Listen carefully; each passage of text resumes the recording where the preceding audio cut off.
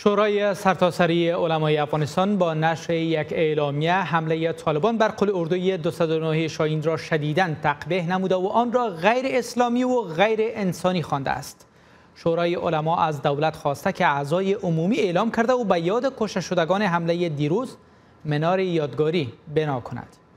در برنامه امروز مولوی عبدالبصیر حقانی رئیس شورای علمای کابل را دعوت کرده ایم تا حمله دیروز در بلخ را بیشتر از دید علمای دینی تحلیل کند. مولوی صاحب حقانی سلام بر شما. خوش آمدین. خب شورای علمای افغانستان که متشکل از عالمان دینی است حمله دیروز را غیر اسلامی خوانده اما حمله کننده هایی که به نام دین و مذهب این کار را انجام دادن دلیل آن را از چه نوع علما و از چه مراجعی به دست آورده بودند؟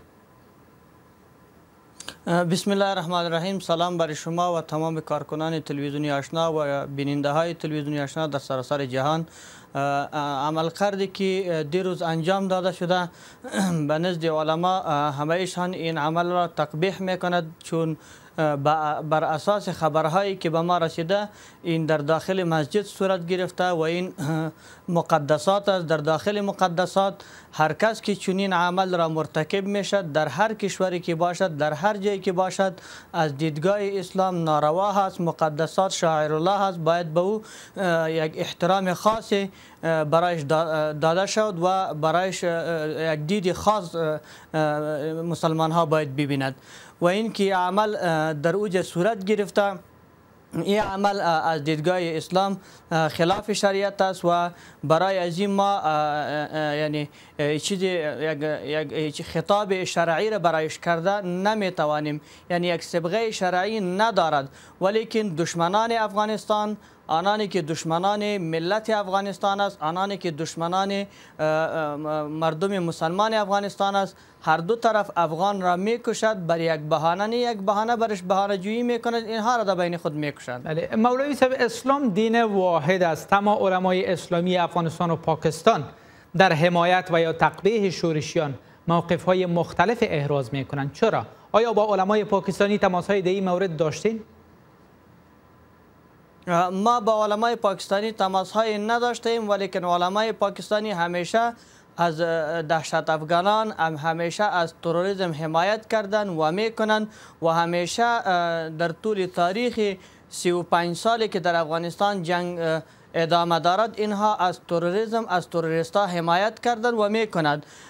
کسانی که ابرقدرت های جهان هستند و در افغانستان به بهانه تروریسم جنگ می‌کند و در افغانستان بم های به نام تروریسم پرتاب می‌کند. باید از ما خاص داریم که آنها بدون مرز افغانستان خارج مرز افغانستان جایی که پایگاه های تروریستا هستند جایی که تروریستا را حمایت می‌کنند کشورهای آنها را باید بکوبانند آنها را باید بالایشان پابندی ها را عاید کند و در آنجا باید عملیات خود انجام بدهد. نه که در داخل افغانستان افغانا را می‌کشد در بین خود.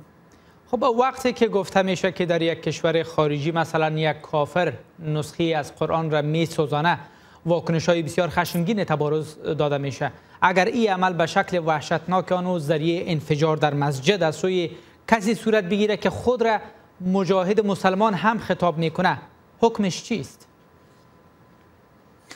بیبی الله متعال می فرماید کسانی که مسلمان را می کشد و نفس و من قتل مؤمنا متعمدا فجزاؤه جهنم کسی که یک مسلمان را بدون گناه و بدون جرم قتل می کند جایگاه او دوزخ هست که او را خداوند متعال جزای سختتر می دهد این که از نام قرآن استفاده می کند او در هر جایی که باشد در هر کشوری که باشد که مسلمان را بدون جرم به قتل می رساند و فتوای جواز کشتن آنها را میتد جایگاه آنها در دوزخ است. ما چنین عمل کرد را اجازه نمیتیم و بله. اسلام هم نمیتد اگر کسی برس بله یک سوال آخر که وقت برنامه هم کوتاست.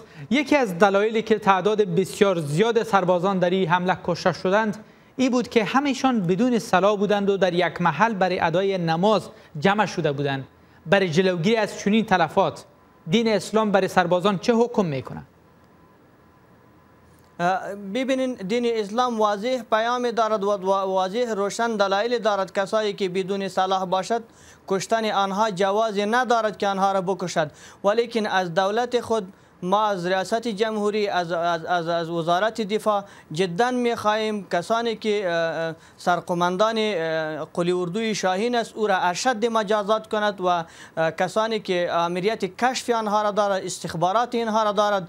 چرا؟ چنین عمل انجام داده شود چرا دشمن با یک قدر یک, یک, یک, یک قدرت بیاید در داخل قدر سربازار از بین ببرد قدر افسرا را از بین ببرد که توی صورت می‌گیرد ولیکن زوف در حکومت ما زوف در ارگان های امنیتی ما چی در وزارت بله. دفاع هست چی در امنیتی ملی هست و چی در وزارت داخله هست سپاسگزار هستیم از شما مولوی صاحب حقانی از که تشریف آوردین و به سوالات ما پاسخ را کردین